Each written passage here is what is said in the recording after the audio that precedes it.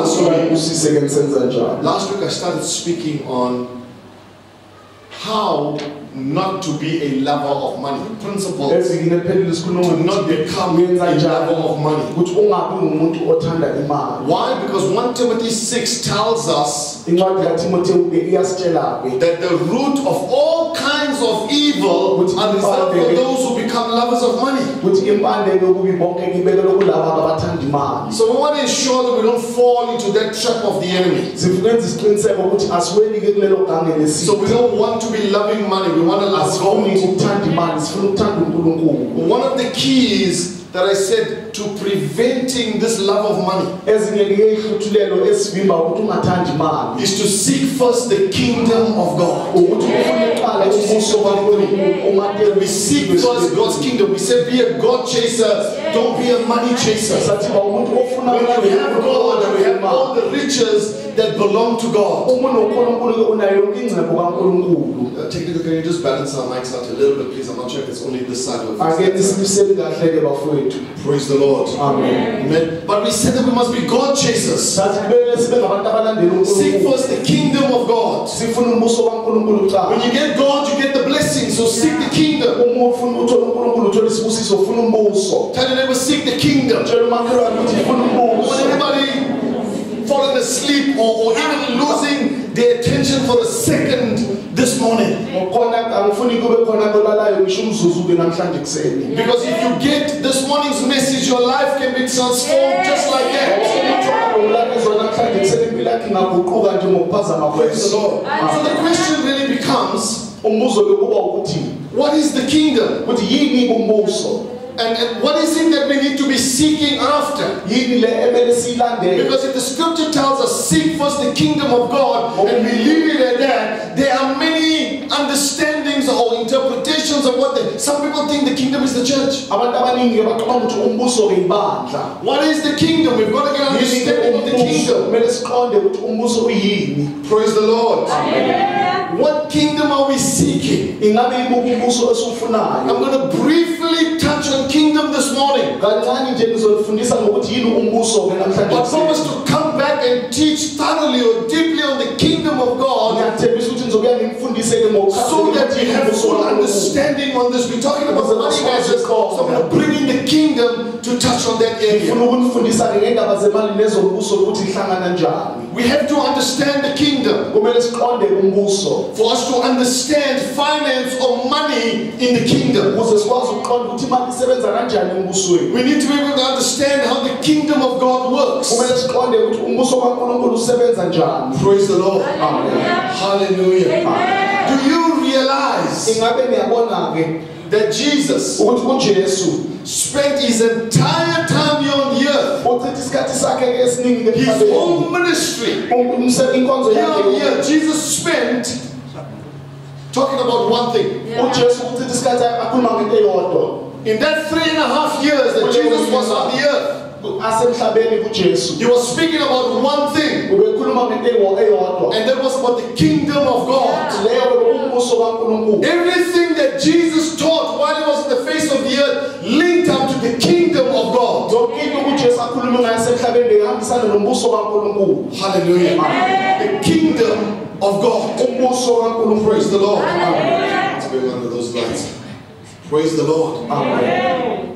Throughout his ministry, whatever he spoke was in relation to the kingdom of God. yonke into bekayikhuluma bebehambisana nombuso Jesus was revealing the kingdom of God. ujesu bekaveza umbuso To those who would listen on the mountains, to those who would listen on the seashore, to those who invited them into his homes, he spoke about the kingdom of God. bekakhuluma umbuso kankulunkulu Jesus, throughout his ministry, was revealing to the saints ujesu ngenkathi yenkonzo yakhe wayeveza-ke kubangcwele the kingdom of God, and he was revealing to them that the kingdom was inaugurated by his coming. ukuthi-ke ihlangene nokuza kwakhe Praise the Lord. Hallelujah. Hallelujah. The kingdom of God. You see, the kingdom of God is not something that we are waiting for. The kingdom of God is here. into ekhona esefikile Amen. It's, it's, it's, it's we, we, when we go in depth, when understanding the kingdom, we'll talk more about it. But the kingdom of God is here, it is now, it is, it is progressive, which means that it is also future.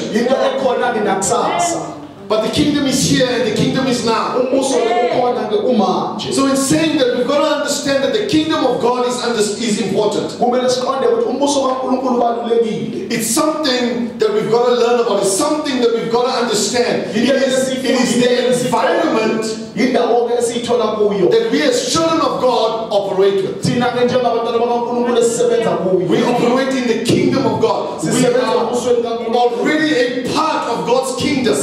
Siyingxenye yombuso kankulunkulu And as kingdom citizens, njengabantu-ke abahlala embusweni we enjoy certain benefits of the kingdom. kunezinto esiyitholayo There is njengabantu. a power and an authority that we have in the kingdom, and we have access to operating that kingdom power, that kingdom authority. If we don't understand it, you're not going to operate in it. Singaqondi lokho ngesisebenzise Praise the Lord. Hallelujah. But as well, in the kingdom, there are protocols. embusweni-ke kunendlela ebekiwe kusetshenziswa There are protocols in the kingdom of God. kunendlela ebekiwe Like in any kingdom. kankulunkulu And they must be observed. If we uma thina If we need, if we want to be righteous citizens, uma sifuna ukuba ngabantu abalungile abahlala embusweni then we've got to understand and observe kingdom protocols. kumele siqonde futhi silandele indlela ebekiwe-ke yombuso Now, when we speak of kingdom, uma sikhuluma-ke ngombuso we speak of the territory that is ruled by a king or a queen. sikhuluma-ke ngendawo-ke ebuswa yinkosi noma-ke inkosazana Now, let's understand that God's kingdom asiqonde ukuthi umbuso-ke kankulunkulu is, is, is without borders. awu- awunamkhawulo-ke It is, it is not like a country where there are borders where the king reigns up to that point. God's kingdom is not, is not physical territory. It is spiritual. It means that wherever you are, the kingdom expands as we expand. So God is not limited to a location. God's kingdom is sovereign and his reign is sovereign. So we might be living in this country, this democratic country of South Africa, but we belong to a greater kingdom. Kodwa-ke singabantu-ke bombuso ophezulu Hallelujah. Praise the Lord. We are part of that kingdom. siyingxenye yaloyo mbuso So kingdom is not popular these days. We don't understand kingdom. akusesinto eqondwayo-ke kulamalanga We understand democracies. thina siqonda-ke into yokulingana So we can be forgiven for maybe not fully understanding how kingdoms work. singaxolelwa-ke ngokuthi singaqondi ukuthi umbuso-ke usebenza njani But back in the day, kingdoms were big. Kingdoms were popular in umbuso ancient days. kwakuyinto enkulu kwakuyinto eyaziwayo And we've got to remember that kingdoms were inspired from the heavenly system. kumele ke siqonde ukuthi imibuso yeza ngenxa yokuthi-ke It was not a man-made thing. The kingdoms that we saw on the face of the earth imibuso was esiyibonile emhlabeni inspired from heaven. yaphuma-ke idawu emazulwini Praise the Lord. Now, now, one of the few remaining kingdoms enye-ke imibuso-ke esele is our neighboring state of Swaziland.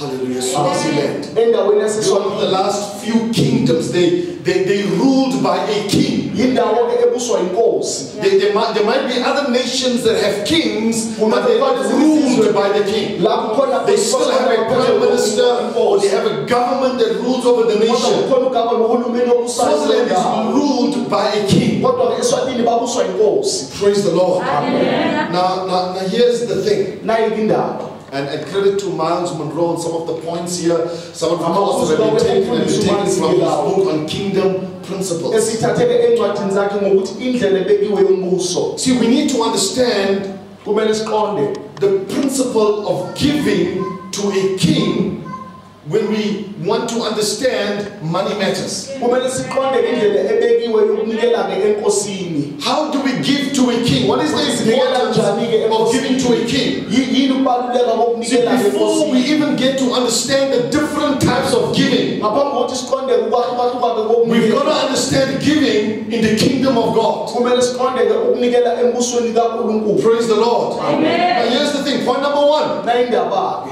you cannot go to visit royalty akwazi ukuthi uhambe uyovakasha ebukhosini without a gift. You cannot approach royalty. awukwazi ukuya endaweni noma uhlangane nabantu Without a gift. It is an insult to go to royalty ukuthi uye ebukhosini without a gift. Myles Munroe tells of how he was invited to have audience with the king of Swaziland. umfundisi umansi uyachaza ukuthi wamenywa kanjani ukuthi ahlangane nenkosi yaseswatini And he says, when you are coming to the king, they assign an aide to you who will teach you uthi-ke ma uzohlangana nenkosi bakukhipha kwiqembu kingdom principles. I think maybe the church has failed in teaching people kingdom principles. indlela ebekiwe yombuso And that's why we approach the king anyhow. In the kingdom, before you have an audience with the king or with the queen, ngaphambi kokuthi uhlangane nenkosi you first have an audience with their aide. uqala kufundisa ile qembu-ke They will tell you what is expected of you. Bazokutshela ukuthi kuwena kulindekale when you come into the presence of royalty. uma uhlangana nabantu basebukhosini And it says one of the first questions that the aide asked him. Wathi-ke omunye umbuzo baqala bambuza wona. Do you have a gift? isipho. The queen wasn't actually the king because the king is important, but the queen mother was more important than the king. bathi-ke indlovukazi-ke ibaluleke ukudlula inkosi And he said, Before you go in, do you have a gift for the queen mother? bathi ngaphambi kokuthi-ke ungene ngabe unayo yini isipho sakantozala And he didn't understand the principle and the protocol. And he said, aqonde indlela ebekiwe What gift? wathi sipho sini And man had to explain to him that you cannot go into the presence of the queen or the king. You cannot greet, you cannot even say a word to the king or queen before your gift is presented. Your gift goes before you. isipho sakho sihamba ngaphambili kwakho When you walk in, before you greet, before you speak, ubulise ngaphambi kokuthi your gift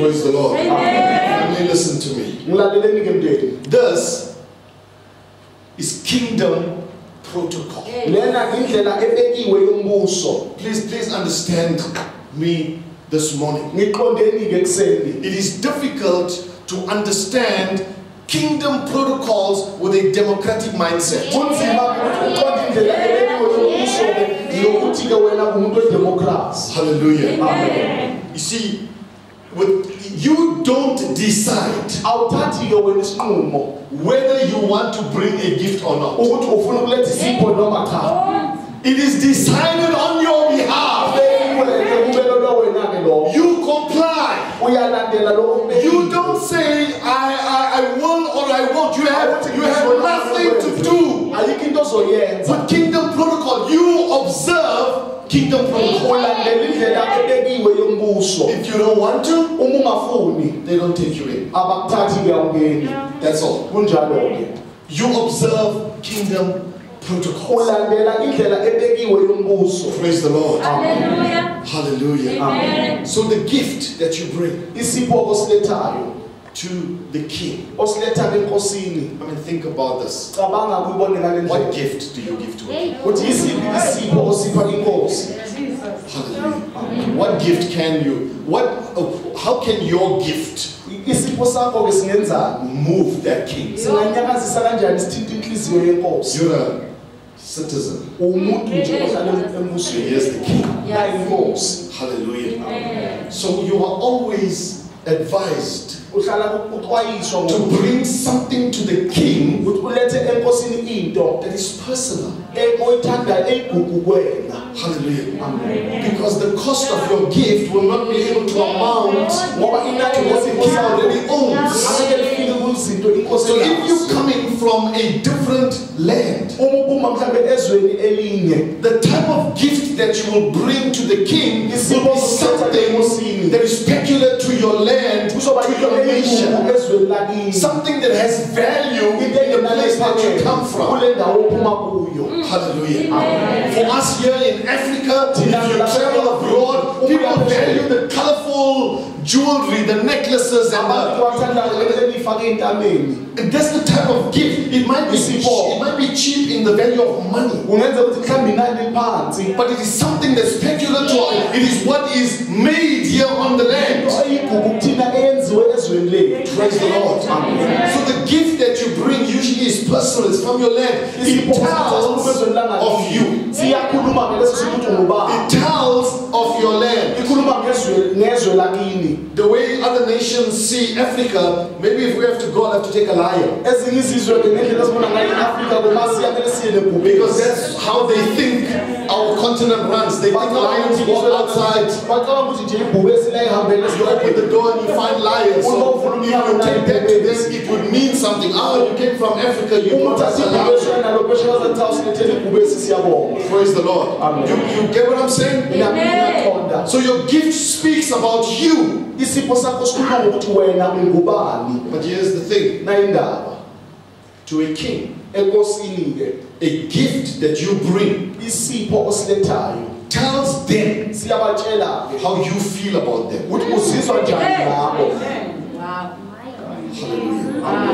The gift that you bring isipho-ke osilethayo. tells the king sitshela how you feel about them. Him. uzizwa njani ngaye It. Is, it is your worship of him, it's how you esteem the king. indlela-ke otusa ngayo noma uliphakamisa Your ngayo gift can communicate your attitude about the king. singakhuluma ukuthi incondo yakho wena ibe Whether you fear this king, whether you respect this king, or whether you think this king nothing, uyamthatha njengawonke umuntu your gift will tell you, sizokhuluma will tell him. sizomtshela Hallelujah. Amen. How do you feel about them. You see, this is, this is, this is kingdom culture. yinto-ke yasembusweni-ke le But, but, but, but it's not. It's, it's, it's not what I mean. It's kingdom culture. You got to get to isipho-ke know kingdom culture.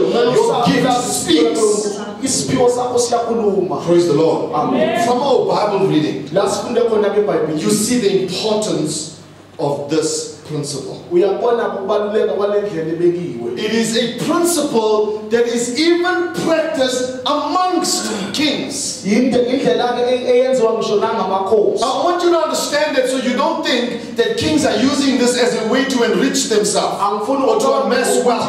Kings practice this principle. ney'nkosi ziyayilandela-ke le ndlela ebekiwe When we read from this verse in the first book of Kings, chapter uh, 10, verses 1 to 10, we find the incident of Queen Sheba siyabona ukuthi indlovukazi ushiya wanting to visit King Solomon. Ufuna ukuvakashela inkosi usolomoni because she wanted to see and, and test the wisdom that people were speaking about. ngoba ubefuna ukuvivinya le nhlakanipho abantu So when the queen visited the king, ngenkathi indlovukazi ivakashela inkosi usolomoni the Bible says she brought gifts. ibhayibhili lithi weza ney'phiwo Did you pay attention to that reading? ingabe nibonile ngenkathi And kufundwa Sister Angie took for us. ngenkathi udade efunda She brought gifts. uyale waletha-ke iziphiwo She knew who she was visiting. This was royalty. This was a king. She herself is a queen married to a king. indlovukazi ngishada inkosi But the Bible says she brought camels If I believe, ibhayibhili lithi weza ney'nkamela of gifts, not one gift. It says she brought a huge retinue, a huge amount of people that she brought with her carrying these gifts. There was camels carrying spices. bekukhona iy'nkamela eziphethe-ke ama-spices. Out of the, the land, they were bringing a gift that was unique to them. Something that was valuable in that time. Spice was something that was valuable. She brought large amounts of gold. waletha igolide eliningi Caravans eza-ke ngamakharavani of gifts kugcwele-ke iphiwo-ke phakathi. To a king. Azilethe enkosini. Who's already rich. ocebile principle. kodwa indlela ebekiwe The man is lacking nothing. He's not short of spices. Ah, akadingi He has money that can buy spices. He has ships that he can send around the world to pick up spices. unazo iy'kepha angazithumela emhlabeni ukuthi But she brings this gift. kodwa kuletha lezi zipho Solomon is not lacking in gold. usolomoni-ke akaswelanga golide David left for him tons of gold. udavide wamshiyela igolide phezu But she brings a gift because she has to honor the king. waletha-ke isipho Why? ngoba kumele ayiphakamise Because it's kingdom protocol. ngoba indlela ebekiwe And we are in the kingdom and we've got to understand this. nathi sisembusweni kumele siqonde-ke lo Now let me share a few kingdom principles with you to help you in our walk as kingdom citizens. si- si- si- si- si- si- sisizakale-ke njengabantu bombuso Saints, let me let me just say this morning. ithi ngithi-ke kuseni These principles. Mm-hmm. Lena lezi ndlela ezibekiwe can change your life. zingaguqula impilo yakho. Amen. I'm, I'm talking from ngikhuluma. experience. ngikhuluma ngento engiyaziyo. The principles I'm going to share with you today has changed my life, le ndlela engiyokhuluma ngazo ezibekiwe impilo yami. my family. zaguqula umndeni wami. I'm, I, I have always been a giver, ngihlala-ke always been a faithful tithe payer to God, bengihlala ngikhipha njalo kwami and I've always been blessed. But let me tell you, the last five or six years, ithini-ke ngintshele kule nyaka kule after grasping these revelations, akukuthi ngithole-ke lezi zambulo what I thought was a blessing into bengicabanga ukuthi doesn't even start to explain. ayiqali ukuthi ichaze what God can do mm-hmm. when you when you understand these principles and you start living out these principles. uqala uphile-ke le ndlela ezibekiwe See, many times we question God's faithfulness. esikhathini esiningi sibuza-ke ukuthembeka The problem again is never God. The problem is that we don't know kingdom protocol. inkinga ukuthi thina asiyazi indlela ebekiwe We're questioning God on a system that we are ignorant on. sibuza unkulunkulu ngendlela thina And we are saying, why am I not blessed when you don't understand how the kingdom works? awuqondi ukuthi umbuso usebenza And you're not able to receive your due blessing. bese awutholi-ke isibusiso Praise the esikufanele Lord. Now, now let me go through one or two things just to lay a foundation and then we'll pick up some speed. I must apologize. This is going to be a little bit of a long message because you need to get understanding. Just to lay that down and then to break it down for you. But I guarantee you that if you catch this, your life, your life will change. Number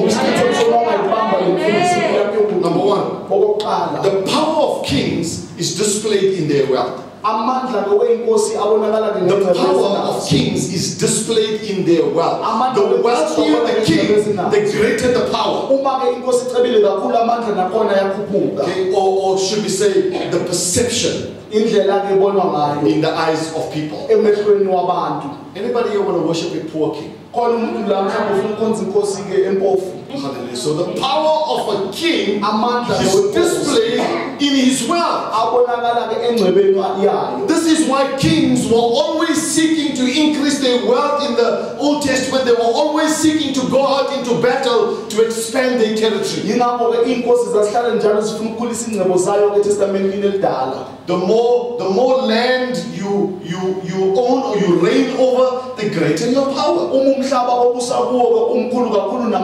Uma umhlaba obusa kuwo-ke umkhulu kakhulu namandla akho-ke ayakhula Have you seen how, how people even do that about churches? ukwabona ukuthi nabantu sebenza njalo-ke ngisho nasemabandleni When, when you're a pastor, and I say this because when you're in the company of pastors, yes, it can be. ngisho lokhu ngoba uma umohleli nabafundisi cha kunzima lapha And somewhere in the conversation, they will ask you about the size of your congregation. bazobuza ukuthi yemfundisi ama- abantu-ke bakho bayingakhi Because somehow the size of your congregation ngoba ukuthi unabantu abayingakhi determines your, kusho-ke ukuthi ugcotshwe kangakanani your muscle. kuthi-ke ezweni likamoya-ke ume njalo Hallelujah. And it's this principle here of the power of kings is displayed in their wealth. ukuthi amandla wenkosi siwabona engcwebeni inkosi leyo enayo Now, the most obvious way that a, that, that- a king's wealth is displayed, or, or, or that his wealth displays a king's power, indlela-ke ebonakala ngayo kwingcebo-ke yenkosi amandla is in his ability to give generously. I- indle- inani If The king is wealthy. uma inkosi icebile He can give back. uyakwazi ukunikela Hallelujah. He can bless.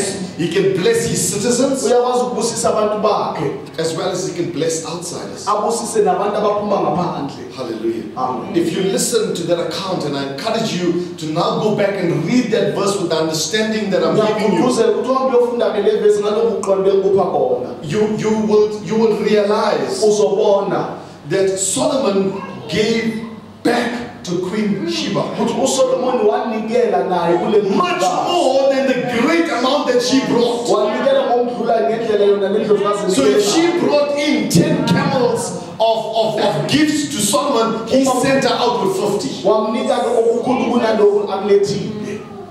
That ability oh, lelo khono-ke of, of the king shows his wealth. libonisa-ke amandla-ke nengcebo If you look at the text very well, it says he gave her all that she wanted yathi-ke umnike konke-ke lena ndlovukazi beyikufuna and then some more. nokuningi ngaphezulu okudlula lokho Hallelujah. Amen. If you don't have money, you can't bless people. uma unganamali kawukwazi ukubusisa abantu So the power of the king is displayed in his wealth. amandla enkosi-ke abonakala engcebeni yayo Now look at this. bona-ke Our king ukuthi inkosi yethu owns all the land. iphethe wonke umhlaba Even Swaziland. uphethe ngisho naseswatini is Hallelujah. owned by our king. Cattle, all the silver, all the gold, all the sheep, all the goats belongs to him. This is the greatness and the power of our king. If we're going to compare this, the power of kings is displayed in their wealth. There's no greater king than the king of kings and the lord of lords. He owns it all. They all bow down before him. I'll show you that a little later. Amen Number two, okwesibili the purpose of a king's wealth is to secure his reputation. injongo-ke yokuthi inkosi ibe The purpose of a king's wealth is to secure his glory. Injongo-ke yengcebo yenkosi ukuthi ibonakalise inkazimulo yayo See, even kings want to be known as good. Ney'nkosi-ke ukuthi zinabantu abakahle The glory of a king inkazimulo yenkosi is in his ability isekhonweni layo to take care of his citizens. nokuthi inakekele abantu bakhe That his citizens are living a good life. ukuthi abantu bakhe baphila kahle So a king's reputation is tied to this. ukwaziwa kwenkosi kubopheleke kulokhu There's no use being a king asikho isidingo sokuthi ube and your people are hungry. bese abantu bakho-ke balambile The reputation of that king is on the line. yenkosi ezaziwa ngayo yimbi People in Swaziland are rising up. There's an uprising because the king is rich, but the people are not. That is not a good king. kodwa abantu-ke bampofu The glory of a king is seen in the way that his people live. inkazimulo yenkosi ibonakala ngendlela abantu bayiphila baphila It will filter just now. So we need to connect the dots. Hallelujah. Amen. But a king's wealth kodwa ingcebo is yenkosi also a part of his glory. iya- iyingxenye-ke yenkazimulo yayo When you when you think of a palace, uma ucabanga ngendawo-ke yasebukhosini what do you think about? ucabanga ngani Maybe some things we've seen on TV. You think about, izinto esizibone kumabonakude you think about even the bathrooms ucabanga ngisho indawo-ke having golden taps. You come in, the taps are made of gold. The toilets are made of gold. And if those useless things can be made of gold, what about the rest of the house? ucabanga ngendlela yonke maseyiphelele If that's the first place that you come into my house and you see things are made out of gold, uma ungena nje kwami ubona ukuthi izinto zakhiwe ngegolide wow, I, I can't even imagine going to the rest of the house. angikwazi ucabanga ukuthi indlu yonke maseyiphelele injani When you eat, this golden cutlery, uma golden plates. This is, this is seeing the glory of the king. Ukubona-ke inkazimulo yenkosi Praise the Lord. Amen. These things speak of the value of the king. lokhu-ke kukhuluma ngenani-ke lenkosi Solomon's kingdom was so glorious umbuso-ke kasolomoni-ke wanenkazimulo that it amazed Queen Sheba from the gate. ukuthi kwamangala indlu She didn't even get to the palace. She said she saw it in the servants of the king. She didn't meet the king. Ezindlini zenkosi ingakahlangani But coming into this place and I saw the way the ashes were dressed. Ngendlela amashani bawagcoke My ngayo. God, the, the ushers were wearing gold jewelry ukuthi bebafaka into zegolide to represent the greatness of this king. I wonder what this king is wearing. ngiyazibuza ukuthi le inkosi yona That's what she says. She was amazed. She was blown away. She says that all that I heard doesn't even amount to a half. All that I've seen doesn't amount to a half of what I've heard. Akufike kuloko ngizwile The glory of the king, inkazimulo the order in his house, indlela izinto bezibekwe the ngayo glory of his kingdom. ubuhle bombuso wakhe. It spoke volumes to this woman. Bekhuluma about the power of this king. ukuthi le nkosi inamandla kakhulu Now tell me what you've heard the Bible speak. manje ngithi ibhayibhili ithike ngezulu Hallelujah. Not even Solomon could pave his roads with gold. ngisho nosolomoni bekangakhoni ukuthi As great as Solomon's kingdom, the roads were still dusty and made out of mud. wakhe womkhulu kodwa indlela kwakuyidasti-ke njengoba yayinjalo But the kingdom that we represent, the kingdom that we belong to, umbuso siyingxenye yawo has, has, has gold. They, they make the road out of gold. bayenzele indlela ke bayenza ngegolide Hallelujah. Now, How do you think the servant of that kingdom should be? manje ke cabanga ukuthi inceku yaleyo mbuso ke kumele ibe njani And who's, who's the servants? ubani-ke leyo ncegu Who- Who's the servants? ubani-ke leyo ncegu Here's the servants of this kingdom. If Queen Sheba was amazed at the servants of Solomon and praised the king because of the way his, his servants were dressed, how much more should the King of glory be clothing his servants with what they desire because it speaks of him? Ngoba ikhuluma ngayo ukuthi ngubani. Come on. You can't be poor awukwazi ukuthi ube mpofu because your king owns everything. Poor in the kingdom ukuba mpofu-ke embusweni is a reflection on the king. kubonakalisa inkosi yakho You don't get it. anitoni Hallelujah. That, that- that needs to become a revelation to lokho you. kumele kube yisambulo kuwena If, if, if you uma wena are in my house usendlini yami and people come to visit me and there's a child looking like a beggar, it's not my child, it's illegitimate. Ukukhona umntwana People must know that. kumele bakwazi So if you're in the kingdom and you are in, you're looking in a certain way, ubukeka ngenye indlela you don't know the Father. awumazi ubaba You don't know the Father. awumazi ubaba Are, you understanding that? There's, there, there- there's rights, there's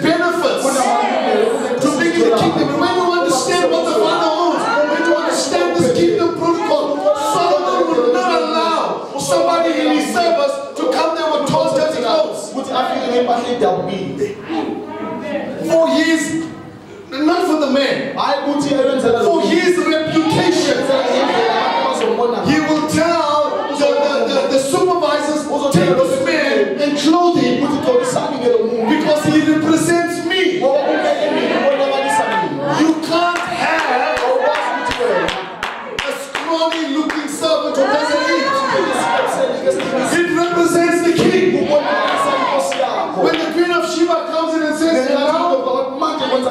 Kwenzakalani ngoba what isikepseni about you? I don't have food, I don't have money, I don't what, what, what. She went, this one, this one is not of the king. Because the king's servants are well fed. They are well taken care of.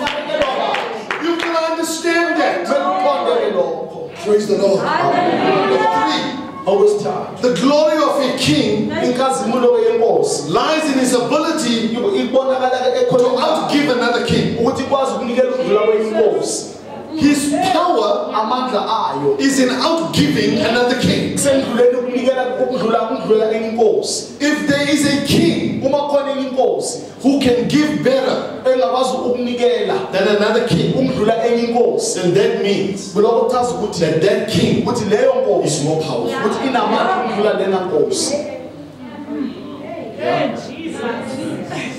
The glory of a king inkazimulo yenkosi lies in his ability to outgive another king. isekhoneni layo lokuthi ikwazi ukunikela It is a kingdom characteristic. yinto-ke ebekiwe yombuso-ke Look at Solomon and Queen Sheba. buka-ke usolomoni nendlovukazi ushiba A king cannot allow himself to be outgiven. inkosi ayikwazi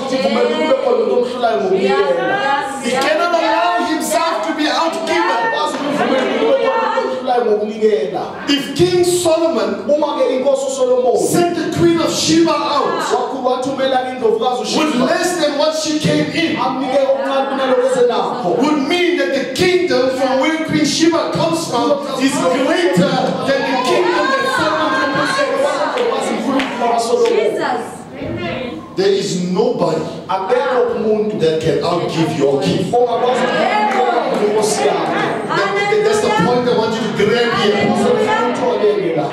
It is a disservice to our God akubonakali kuhleke kunkulunkulu wethu for this world, this kingdom of the world, to be able to bless you more than the kingdom of God can bless you. That would mean that the kingdom of this world is more powerful than the kingdom of heaven. If you have not tasted and seen, that you have not tasted heaven. Hallelujah. You have not tested heaven.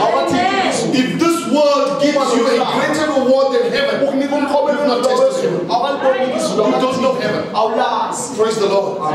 It is the glory of a king's power. It lies in his ability to outgive another king. asekhoneni la ukuthi ikwazi ukunikela umdluleki Whatever you give to a king, yonke into enikele enkosini. it's a kingdom principle. indlela ebekiwe yombuso He must multiply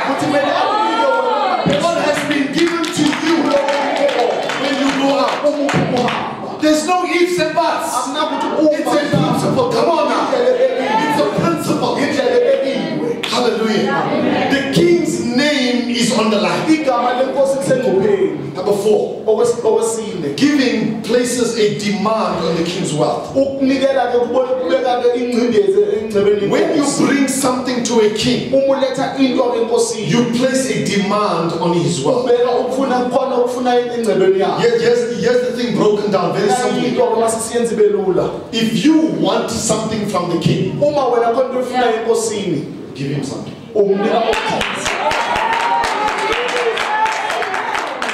Because when you give him something, ngoba it enforces the previous point that he is bound.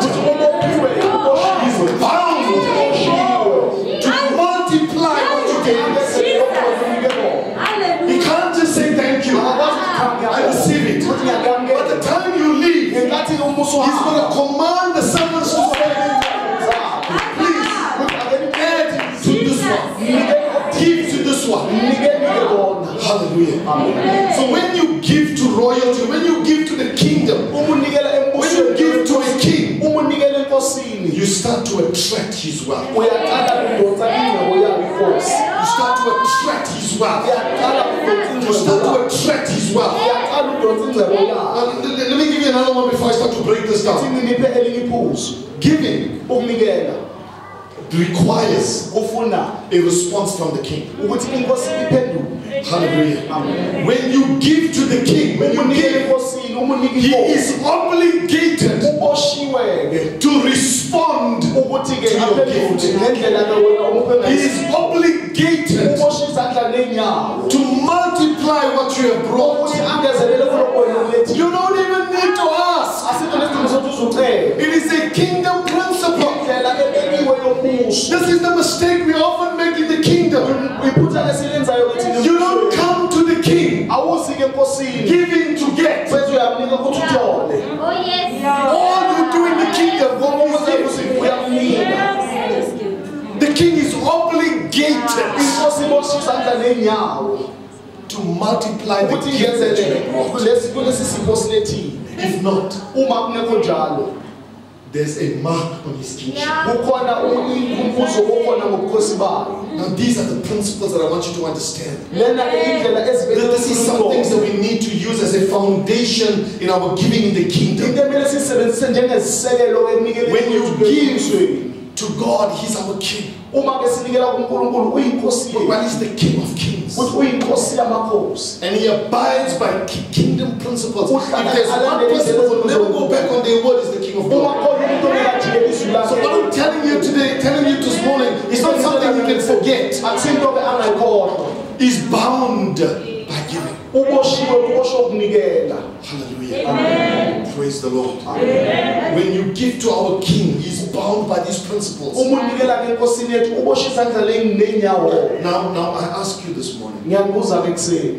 Please ngiyanicela don't treat Him ukuthi ningamthathi. like a casino. njengomuntu othola ikhasini I'm saying this just to lay down a mm. principle. ngisho lokho ngoba ngibeka-ke But, but don't treat Him like the lottery. ungamthathi ngathi kuyaloto-ke la I come with 10 so that I can go with a 100. I come with 10 rand hundred so I can get a thousand. ukuthi ngize ne-hundred rand ukuze ngihambe ne-thousand Hallelujah. Remember still what we are doing here. ukuthi into esiyenzayo la These are principles of the kingdom. ukuthi lena-ke indlela ezibekiwe zombuso But but the the the, the, the starting point kodwa la siqala khona is that we give. Ukuthi siyanikela. To honor the king. ukuthi siyayinikela We give to esteem the king. siyayinika inkosi ngoba siyayiphakamisa kakhulu What we spoke about is the fruit of their giving. into esikhuluma ngayo Giving to must come out of a heart of worship. kodwa uma sinikela lokho kuphuma enhliziyweni lokuyitusa We esteem him by bringing our gifts to siyayiphakamisa inkosi ngokuthi silethe izipho zethu kuyo. Now, now let me show you something. ngithi nginibonisa okuthile. Matthew chapter 2, verses 1 and 2. incwadi-ke kamatewu isahluko 2 ivesi 1 Matthew chapter 2, verses 1 and 2. isahluko 2 uvesi 1 The Bible says, lithi Now after Jesus was born in Bethlehem of Judea in the days of Herod the king, behold, wise men from the east came to Jerusalem, saying, Where is he who has been born king of the Jews? For we have seen his star in the east, and we have come to worship him. Hallelujah. Understand